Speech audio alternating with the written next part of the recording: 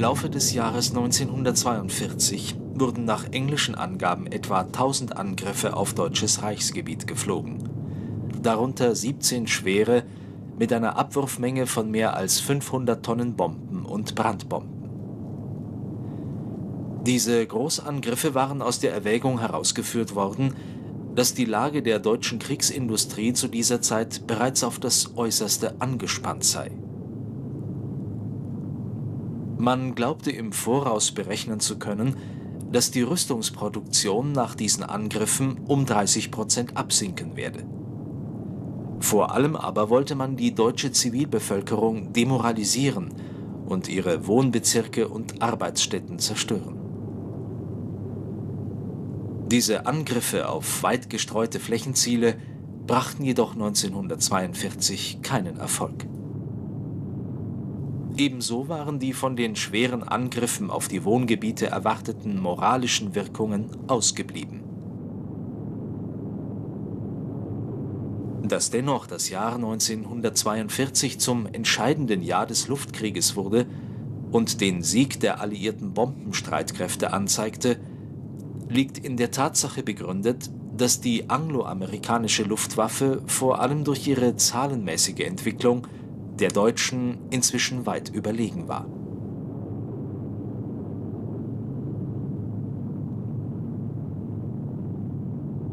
Die deutsche Luftwaffe sah sich 1942 auf allen Kriegsschauplätzen in die Verteidigung gedrängt die Luftschlachten, die noch gut ein Jahr zuvor über England und Deutschland ausgefochten wurden, fanden nun beinahe ausschließlich über dem Reichsgebiet statt.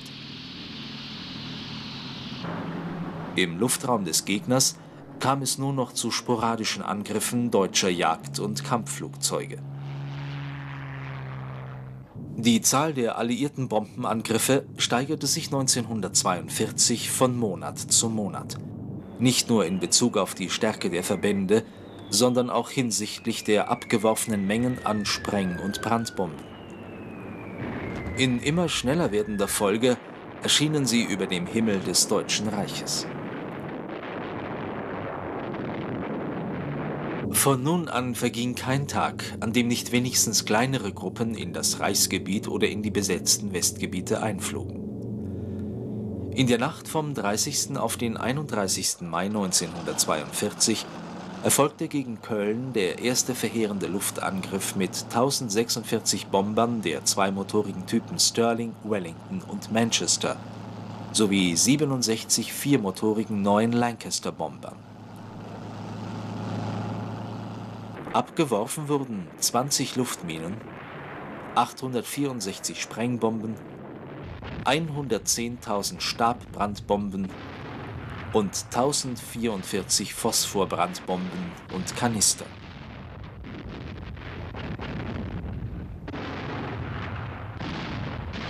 Beschädigt oder zerstört wurden insgesamt 12.840 Häuser. 63.000 Menschen waren tot oder vermisst.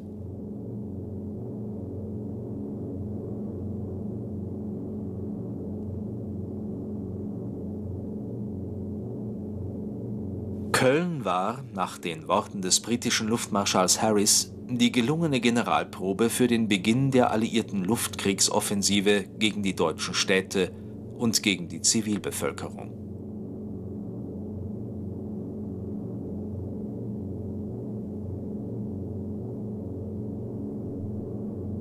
Da die Alliierten noch nicht über die gewünschte Stärke an viermotorigen Langstreckenbombern verfügten, wurden die meisten Angriffe nur durch zweimotorige Maschinen mit geringerer Bombenlast geflogen. Die Wucht der Angriffe war dementsprechend noch relativ gering im Vergleich zu dem, was noch kommen sollte.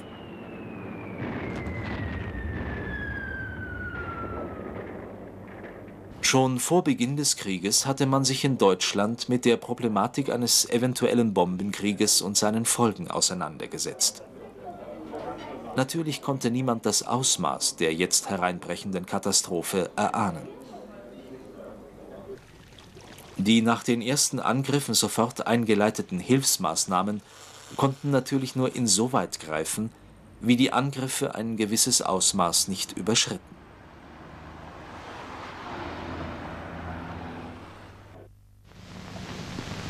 Scheint nur ein Störflieger zu sein.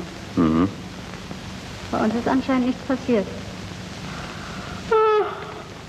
Mein Bettzimmer Ich glaube, ich gehe nach oben. Schön wär's, aber noch ist der Alarm. Und auch wenn der Alarm vorüber ist, können wir uns nicht gleich verdrücken.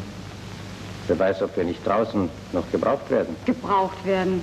Sie machen mir Spaß, junger Mann. Was ich brauche, ist mein je unterbrochener Schönheitsschlaf, sonst nichts. Aber, aber, Frau Böttcher, seien Sie nicht so unvernünftig. Hier geht es doch mehr als um ein paar Augen voll Schlaf. Ganz recht. So, und das sollen wir dann mit anfassen? Ja, natürlich.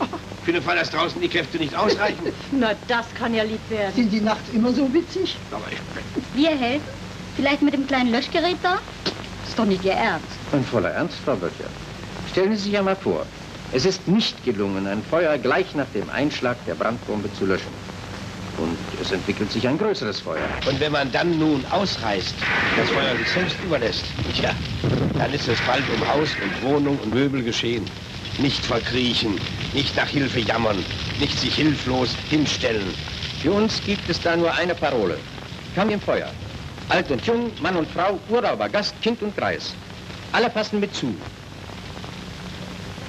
Gelingt es nicht mehr, in die brennenden Räume wegen der starken Flammen und der unerträglichen Hitze einzudringen, dann Türen zu und verhindern, dass das Feuer durch die Türen durchrennt.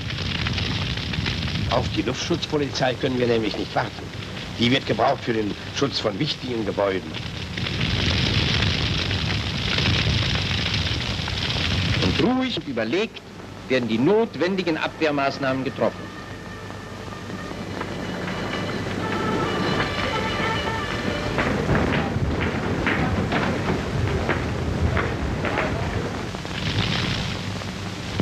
Alle leicht brennbaren Gegenstände nach einiger Zeit niedergebrannt sind, lässt die Kraft des Feuers nach und nun heißt es erneut in die Brandräume eindringen. Dann niemals sinnlos in den Raum spritzen. Stets Brandstelle nach Brandstelle ablöschen. Und wenn nun auch schon alles abgelöscht ist, heißt es weiter auf dem Posten sein. Durch verborgene Brandnester oder Phosphorreste kann das Feuer wieder aufflackern. Stimmt. Scheinbar abgelöschte Brandstellen können sich wieder entzünden. Gegen den Brandstaub schützen wir uns dann durch Brillen oder wir setzen uns die Volksgasmaske mit herausgeschraubtem Filter auf. Wie Sie das auch noch so ausmalen. Ja, da kann ja sozusagen unser eins auch als schwaches Weib noch seinen Mann stehen. Was heißt kann, Fräulein Lisa? Muss, muss. Ach, das sind sehr schöne Aussichten. Ob schön oder nicht schön, danach fragt der Tommy nicht. Aber bloß mal angenommen, Ihre Wohnung brennt. Ich möchte nicht hören, wie Sie uns bitten würden, zuzugreifen und zu löschen. Um Gottes Willen beschreien Sie es doch nicht. Tja, sehen Sie, liebe Frau, wir sitzen alle auf demselben Dampfer. Und wer sich drücken will, der ist ein... ist ein... Ist gut, sie, sie ist gut. Wir wissen genau, was Sie sagen wollen. Ja, Aber jetzt versteht wohl jeder, dass, wenn die Entwarnung ertönt, häufig erst die wichtigste Tätigkeit des Selbstschutzes beginnt. Auch dort, wo die eigentliche Brandbekämpfung schon durch die Luftschutzpolizei durchgeführt wird? auch dort müssen wir helfen. Und wenn die Luftschutzpolizei schon wieder äh, nach anderen Brandstellen abgerückt ist, dann müssen wir die Brandstelle gründlich vom Brandschutz säubern, damit sich das Feuer nicht nach unten durchfrisst. Ja, und dann noch längere Zeit darauf achten, dass sich nicht ein neuer Brand entwickelt. Bei Brandbekämpfung im Luftschutz muss man auf jeden rechnen können. Während des Fliegerangriffs und ebenso nach der Entwarnung. Auf jeden kommt es an. Helft alle mit. Passen Sie doch auf! Es ist heute aber auch so dunkel, man weiß gar nicht mehr, was man machen soll. Man kann schon sehr viel tun, um bei der Verdunkelung Zusammenstöße und Unfälle auf der Straße zu vermeiden. Wie sich jeder verhalten muss, soll Ihnen jetzt gezeigt werden. Richtig macht es dieser Mann hier. Er bleibt nach Verlassen eines hellen Raumes einige Sekunden stehen, schließt die Augen und gewöhnt sie so an die Dunkelheit. So geht das natürlich nicht. Wer eine Taschenlampe nicht entbehren kann, soll sie abblenden. Immer nur kurz aufleuchten lassen und nicht so halten, dass andere geblendet werden. Volksgenossen, beherzigt die soeben gehörten Mahnungen. Zeigt Verkehrsdisziplin, besonders bei der Verdunkelung. Leben, Gesundheit und Volksvermögen sind wertvolle Güter, deren Erhaltung uns besonders im Krieg hohe Verpflichtung sein muss. Hier zeichnet einer einen Kreis und außerdem noch stellenweis voll ungestümen Temperament ein Bildchen, das man gleich erkennt. Die Sonne ist es, die hier lacht, die hell und warm die Erde macht. Und sinkt sie dann, wie es ihr braucht, dann kommt der Mond und leuchtet auf. Und tausend Sterne auf uns schauen, wenn Wolken nicht die Sicht verbauen. Die Hühner gehen dann zur Ruhe, jedoch die Menschen, ich und du, entzünden dann ihr eigenes Licht, verdunkeln gut, wie es die Pflicht, und drehen alle Lampen aus, die man nicht braucht in seinem Haus. Am Werkplatz und auch im Büro macht man es heute ebenso. Und war es auch früher kein Problem, so ist es heute nicht genehm, wenn jeder nach dem Schalter greift und jeder Zähler Hochtour läuft, wenn unnütz mancher Strom versaut, auf den die Rüstung fest vertraut. Drum dreht nicht an, dreht lieber aus. Dann seid ihr Gegner Kohlenklaus.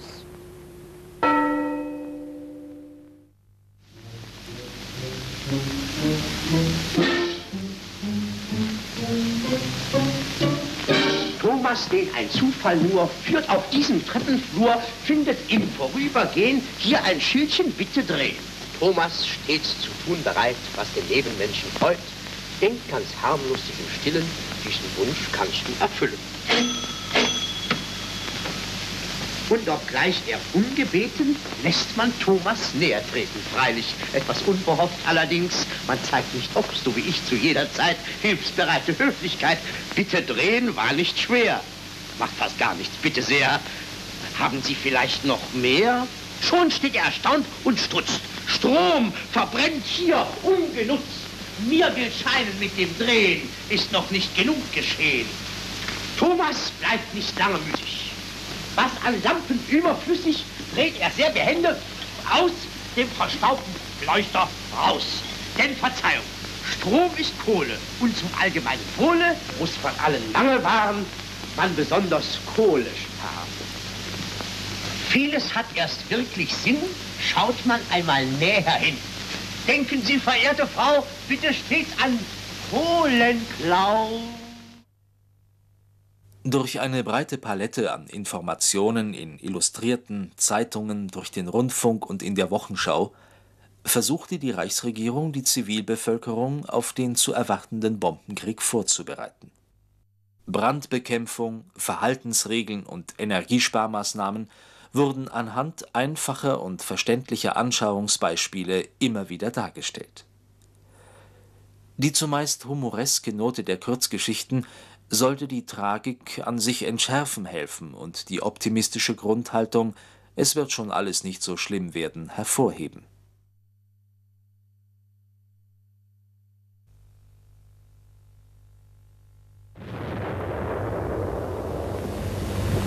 Ruhig, Totchen, schön ruhig bleiben. Nur nicht die Nerven verlieren. Mach doch mal nicht. Ich bin ja schon dabei. Schön artig sein, Trutchen. Fluchter Mist. Ist doch alles halb so schlimm, Egon. Der Kopf ist ja nach oben. Der Ivan stolz bloß ein bisschen die Gegend Na klar, Mensch, du immer auf Milde. Das ist verdammter Dreck. Vielleicht warten die noch so lange, bis ich meinen Brief fertig habe. An wen schreibst du denn? An deine Braut oder an deine Mutti? Quatsch. Meine Alte natürlich. Na, hoffentlich lässt du dabei mal dein ewiges Meckern sein. Dass ja auch mal was Vernünftiges von dir hört. Mensch, von hier? Ich hab ja nur mal geschrieben, was hier so wirklich los ist. Arsch der Welt. Laust. Verdreckt. Überhaupt alles zum Kotzen. Was? Und sowas willst du wirklich abschicken? Klar, Mensch. Ja, man selber. Alles belämmert. Quatsch, der ganze Zirkus. Der Feind ist hier zu stark. Die Sache ist mies, Läuse und Dreck gratis. Und mit dem Fressen ist auch mal so. Und sowas willst du deiner Frau zumuten? Warum denn nicht? Das stimmt doch alles. Sieh du... Ach, Hätte ich überhaupt einen feuchten Lehmann, was ich meiner Frau schreibe. Nee, nee, lass an, Egon. Das geht mich doch eine ganze Menge an. Zugegeben. Schön ist anders. Aber schließlich, komm, lauf erst mal ein bisschen. Aber schließlich geht es hier um mehr. Der Laden muss durchgestanden werden, mein Junge. Und das tun wir doch auch. Eben. Warum schreibst du also das nicht nach Hause? Und schmecken tut's dir doch auch. Na, das ist doch das Mindeste. Na klar. Hör mal zu. Ich habe da mal gelesen und wenn ich mir das so überlege, das stimmt nämlich. Der Feldpostbrief ist eine Brücke zwischen Front und Heimat. Nun mach du auch noch auf Belehrung. Hat mir gerade noch gefehlt. Fehlt dir nämlich wirklich, mein Lieber. Nur langt's mir. Sieh mal, wir hiervon sagen, wenn die Heimat man bloß durchhält. Hast du gestern übrigens selber gesagt. Ja. Und zu Hause wollen sie dasselbe eben von uns wissen. Das ist nun mal so. Wir brauchen's und die brauchen's auch. Da stand übrigens weiter, ich hab's behalten, weil es prima gesagt war. Jeder Feldpostbrief ist heute eine Waffe. Und eine Waffe muss scharf bleiben. Na, und deine Kanone, Egon, die ist doch immer prima in Ordnung, wa? Oh, das ist doch arschklar. Aber mit dem Briefe, da glaubst du das Kopf. Nun lass mir doch mein bisschen Privatleben. Ich bin nicht erst seit gestern Soldat. Ja, gerade deshalb müsstest du wissen, was so die Feldpost bedeutet. Sieh mal, viele Millionen Briefe wandern jeden Tag zwischen Front und Heimat hin und her. Auch das hat mal solch kluger Mann ausgerechnet und dafür einige Beispiele gefunden. Sieh mal, hier in der Zeitung steht, mit der Feldpost von einem Monat kannst du die ganze Welt einrahmen. Von Australien bis zur Beringstraße. Und von da über das Nordkap bis nach Alaska. Und von Alaska über Kap Horn und Kapstadt bis nach Australien zurück. Ist das vielleicht eine Wucht? Ist das eine Brücke zur Heimat? Ja, sehr schön. Verstehe auch. So eine Brücke darf nicht wackeln. Da darf kein Wurm nicht drin und nicht Faules dran sein. Aber macht das mal. Was soll man denn von hier schreiben? Du schreibst natürlich von Heldenmut und so. Und von Tapferkeit. Und immer voran. Und immer drauf. Irrtum. Ich schreibe auch die Wahrheit. Du allerdings schreibst bloß von Dreck. Aber ich auch von der Sonne, die darauf scheint. Und dass wir es noch ganz gut schaffen. Und nehme damit meiner Brüder nicht den Mut. Verstehst du? Die hat mit Kind, Bombenschaden, nun auch noch mit Heimarbeit den Kopf schon voll genug. Naja, du hast eben Fantasie. Was heißt denn Fantasie? Mal dir doch mal aus, was deine Frau zu deiner Meckerboss und meine Frau zu meinem Briefe sagen würde.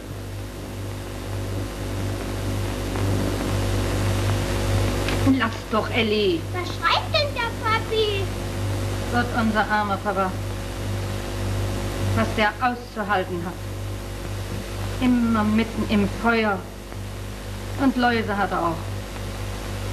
Und mit Essen ist auch mies. Man nimmt nicht bloß mal ein Ende. Der arme Papa. Und hier ist auch alles in Trümmer. Nee, sowas, sowas. Wie soll man das bloß schaffen? Man hat zu nicht mehr Lust.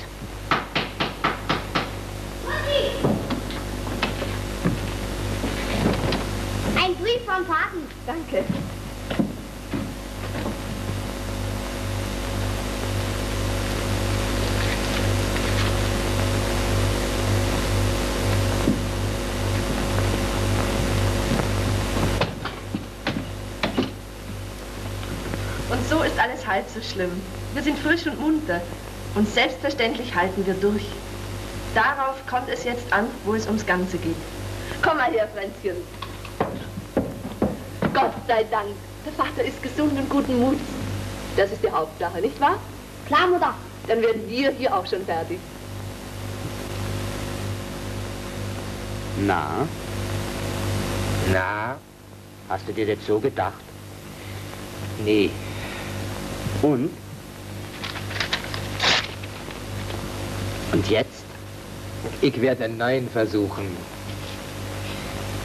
Und die Moral?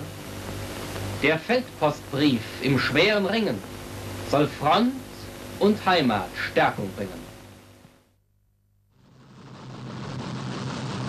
Die Luftwaffe hatte 1940-41 in der militärisch unsinnigen Luftschlacht um England erhebliche Verluste an Jagd- und Kampfflugzeugen erlitten. Noch viel schlimmer wog dabei die Tatsache, dass die über England abgeschossenen Piloten in Kriegsgefangenschaft gerieten, während die britischen Flieger oft schon am nächsten Tag eine neue Maschine besteigen konnten. Das Zahlenverhältnis gegenüber der Royal Air Force hatte sich nach der Einstellung der Luftkriegsoffensive gegen England in etwa im Verhältnis 1 zu 3 verschlechtert. Diesen hohen Blutzoll konnten die deutschen Luftstreitkräfte nie wieder ausgleichen.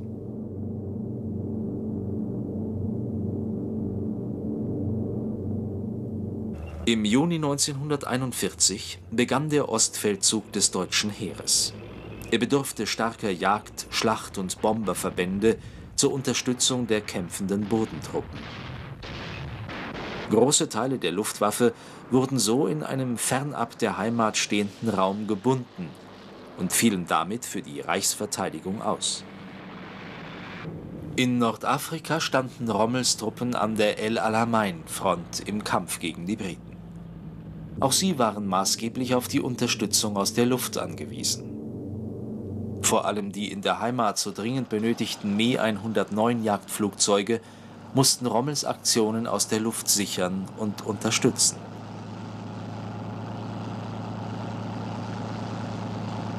Schon Mitte 1942, als die Bomberoffensiven gegen das Reich erst begannen, hatte die Luftwaffe unter erheblichem Mangel in allen Bereichen zu leiden. Neben einer ausreichenden Anzahl geeigneter Abfangjäger fehlten vor allem erfahrene Piloten.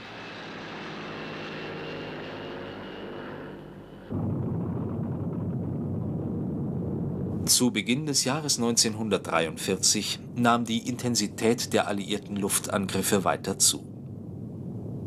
Heftige Duelle zwischen deutschen Nachtjägern und den britischen Bombern fanden regelmäßig im Feuerschein der brennenden Städte am nächtlichen Himmel über Deutschland statt, während die Tagangriffe von den Amerikanern vorgetragen wurden.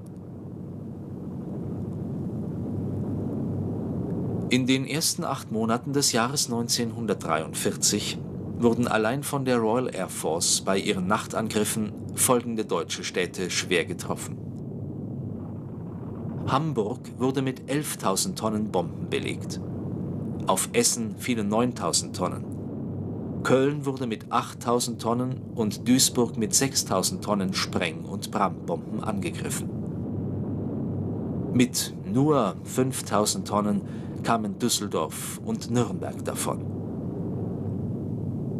Das Deutsche Reich hatte zu spüren bekommen, dass es kein Dach mehr über dem Kopf hatte.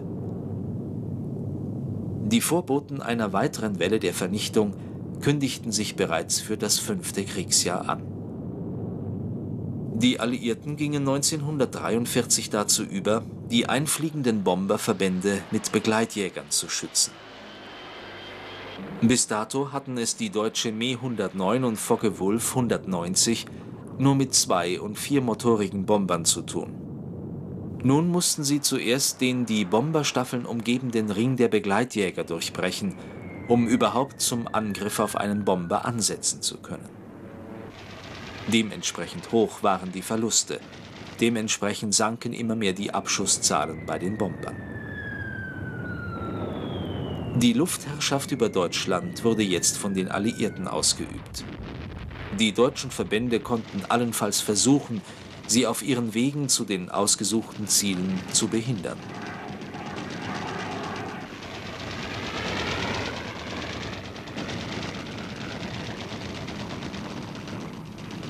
Am 13. Dezember 1943 griffen 1462 viermotorige US-Bomber Hamburg bei Tag an. Obwohl nur 45 Mustangs den Riesenverband schützten, konnten nur 16 Bomber herausgeschossen werden.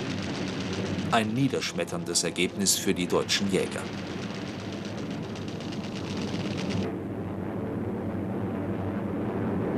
Das Jahr 1944 wurde für die deutsche Tagjagd noch härter und verlustreicher als alles vorangegangene. Es begann mit dem Opfergang der Jagdverbände in der Reichsverteidigung. Viele erfolgreiche Verbandsführer starben im Luftkampf. Jagdfliegerische Erfahrung genügte nicht mehr. Die Übermacht des Gegners war einfach zu groß. In einem Flugsicherungskommando des Rheinisch-Westfälischen Luftkriegsgebietes.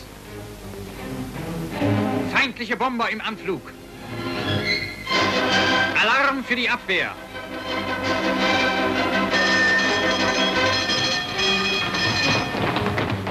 Bei der Flakartillerie.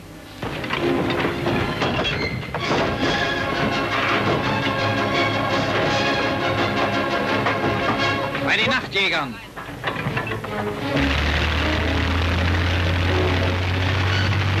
Feindliche Spitze hat die Grenze eines Sperrkreises überflogen. Fliegeralarm!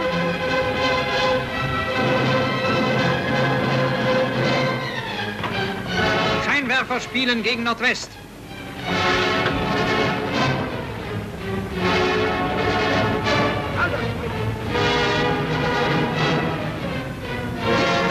Erste Brite. Schweres Feuer schlägt ihm entgegen.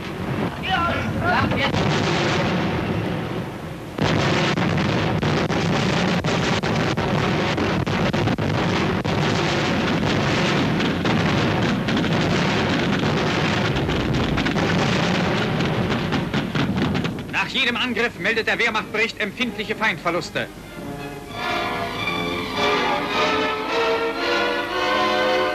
Anderen Morgen. Diese Aufnahmen stammen aus Krefeld. Wenige Stunden nach einem Terrorangriff britisch-amerikanischer Bomber. Das Innere der alten evangelischen Kirche steht noch in hellen Flammen. Im Laufe der Bombennacht in einer Befehlsstelle der Luftschutzpolizei. Hier strömen die einzelnen Schadensmeldungen zusammen. Von dieser Zentrale aus wird der gesamte Einsatz der Feuerlöschkräfte gelenkt. Aus den Nachbarstädten werden motorisierte Bereitschaften herangezogen.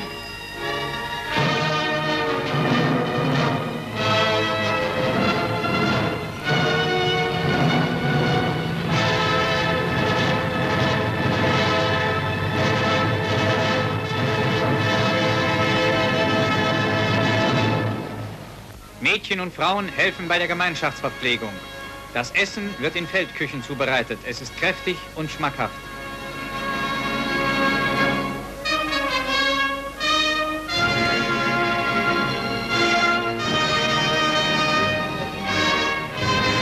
Die Feldküchen rollen zu den Verteilungsstellen, wo das Essen durch die NSV und das Deutsche Rote Kreuz ausgegeben wird. Auf dem Oberwilker Markt in Düsseldorf. Hier werden täglich bis zu 50.000 warme Mahlzeiten verteilt.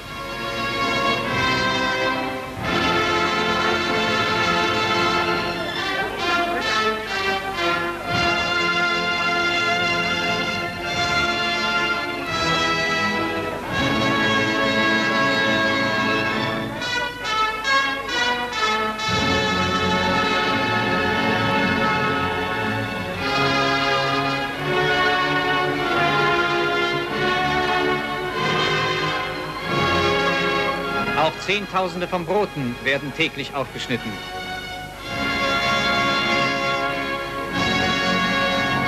Allein diese Verteilungsstelle gibt täglich 38.000 belegte Butterbrote aus. Für die schwer geprüfte Bevölkerung, die ihre ganze Habe verloren hat, wird das Menschenmögliche getan. Sie trägt ihr hartes Los mit bewunderungswürdiger Haltung.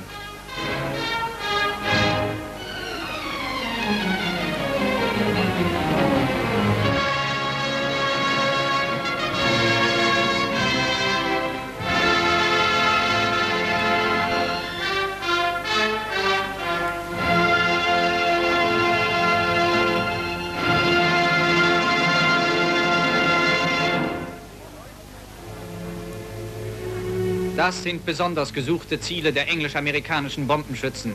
Kirchen und Kulturdenkmäler, Kinder- und Säuglingsheime und Krankenhäuser.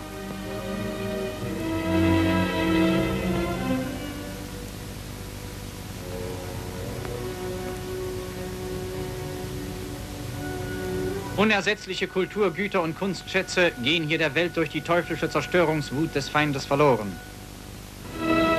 Trotz schwerer Zerstörungen und erheblicher Opfer an Gefallenen geht das Leben weiter. Schon werden neue Oberleitungskabel für die Straßenbahnen gezogen.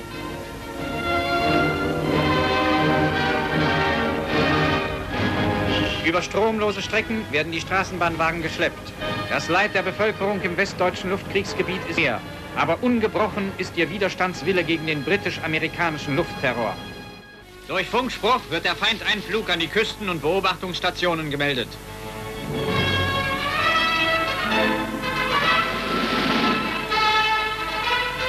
Auf dem Befehlsstand eines Flugsicherungskommandos wird die Flugrichtung der englischen Bomber genau verfolgt und weitergemeldet. Start der Nachtjäger.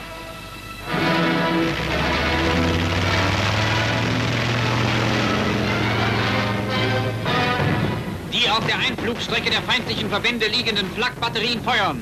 Scheinwerfer tasten den nächtlichen Himmel ab.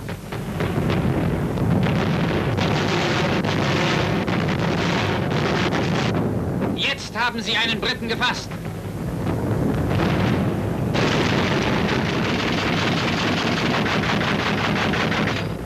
Auf dem Befehlsstand der Nachtjäger.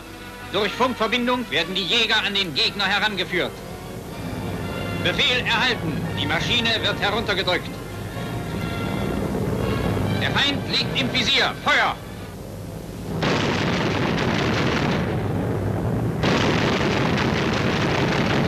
Auseinandergerissen stürzt der Brite ab. Starke feindliche Bomberverbände nähern sich auf verschiedenen Kursen dem Reichsgebiet. Noch ist der Schwerpunkt ihres Zieles ungewiss. Der Alarm eilt dem Feind voraus. In den Gefechtsständen der deutschen Abwehrverbände in den besetzten Gebieten und an der Küste werden die Besatzungen alarmiert. Von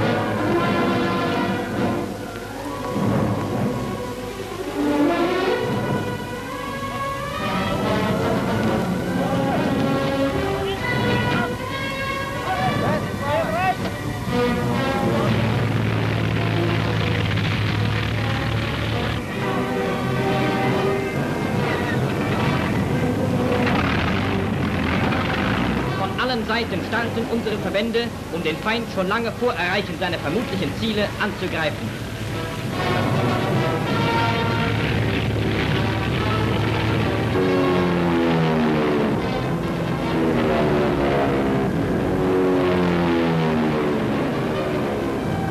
Über See und über dem Küstenvorland stoßen Jäger und Zerstörer auf den Feind. Ein dicker Pulk, vorne ein Feindjäger.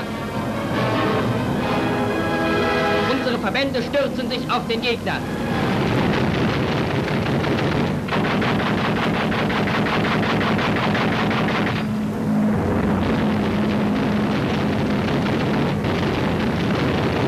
Treffer in Leitwerk und Motoren.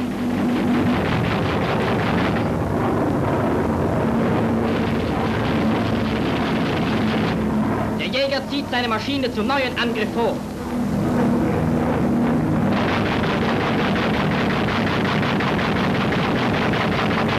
Auf 50 Feind.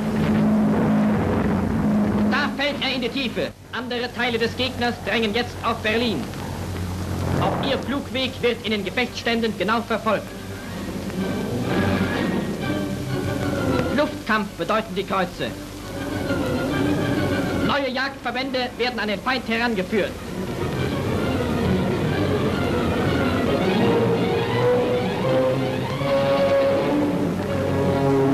Hier stürzen sie sich mitten in den Pulk.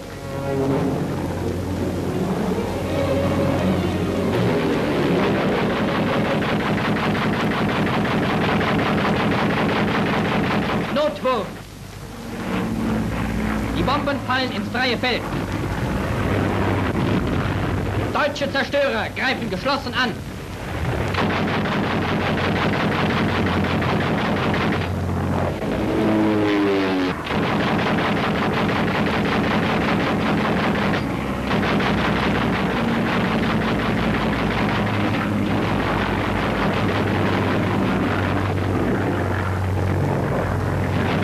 Auch Bomber brennt.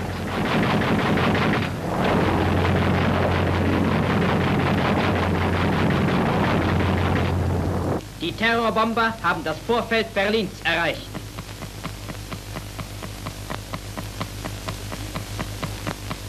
Achtung, Achtung. Luftklare Meldung vom Divisionsgefechtsstand.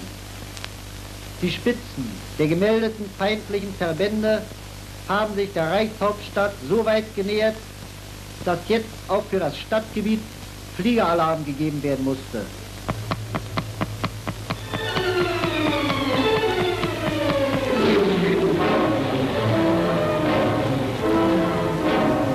Die Reichshauptstadt bereitet sich vor.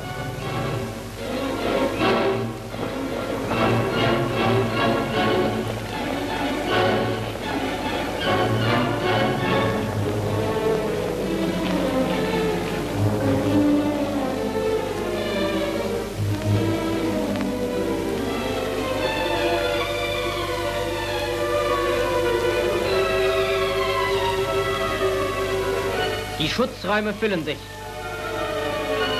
Die Bereitschaften der Feuerwehr und des Sicherheits- und Hilfsdienstes fahren in ihre Alarmräume. Achtung, Achtung! Luftlagemeldung vom Divisionsgefechtsstand. Eine Welle der feindlichen Flugzeuge hat die Flakzone im Süden erreicht und wird durch Flakartillerie bekämpft.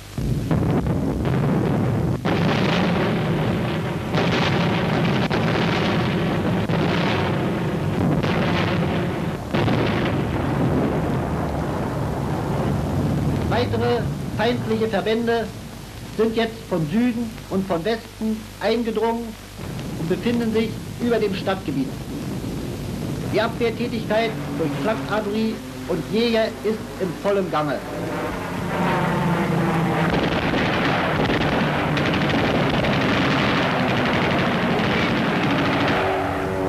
Die Schützen in den Heckständen wehren sich ihre Haut.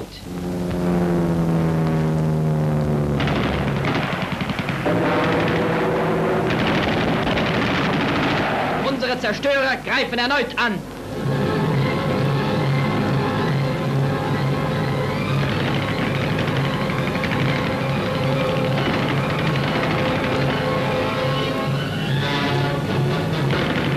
Zwei Feindbomber brennen.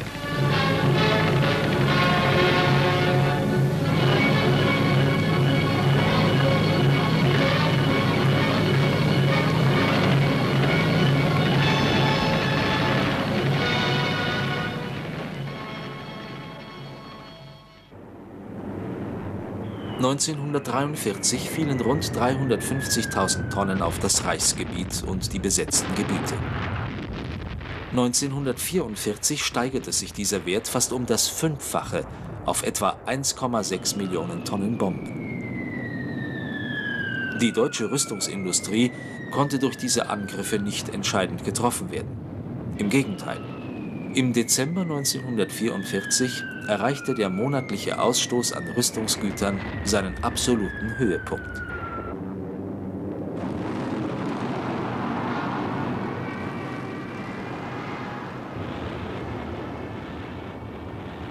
...1944 befand sich die Wehrmacht an allen Fronten auf dem Rückzug.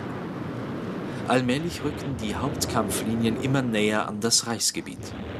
Keine deutsche Stadt war nunmehr vor den Angriffen aus der Luft sicher. Alles lag in Reichweite der Bomberströme.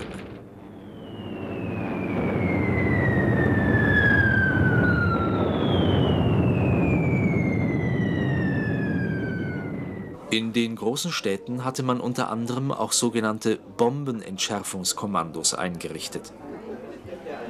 Es handelte sich hier um ausgebildete Spezialisten, die die Vielzahl der unterschiedlichen Bomben bestens kannten und mit ihren Eigenarten vertraut waren.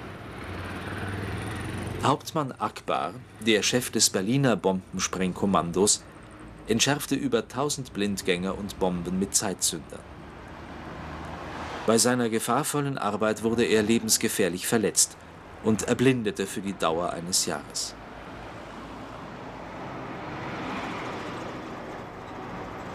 Wo immer das Hab und Gut anderer durch Bomben bedroht war, kam Hauptmann Akbar in selbstloser Weise zum Einsatz.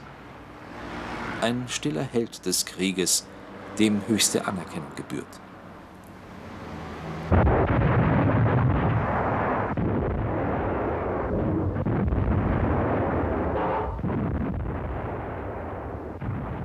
Mit der Ardennenoffensive begann im Dezember 1944 die letzte Großoffensive des Deutschen Reiches.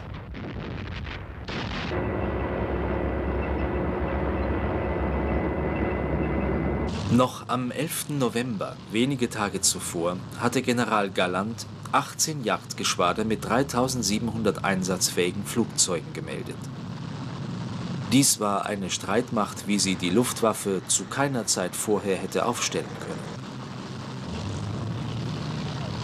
Hohe Verluste bei der Ardennenoffensive und bei dem Großangriff am 1. Januar 1945 gegen die alliierten Flugplätze im Westen dezimierten die neu aufgestellten Verbände derart, dass man die Lage Mitte Januar 1945 als katastrophal bezeichnen musste. Durch den zwischenzeitlichen Verlust des Achsenpartners Rumänien trat nun auch noch die Treibstoffknappheit immer eklatanter zutage. Schon Ende Januar konnten die Maschinen oft wegen fehlenden Treibstoffs nicht mehr starten. Die Bomberoffensive der Briten und Amerikaner brach nun mit ungehinderter Wucht über die deutschen Städte herein. Nachdem die Jäger größtenteils noch nicht einmal mehr starten konnten, gab es im Frühjahr 1945 praktisch keine Luftverteidigung mehr. Fast 700.000 Tonnen Bomben fielen von Januar bis Mai 1945 nochmals aufs Reichsgebiet und ebneten endgültig alle Großstädte ein.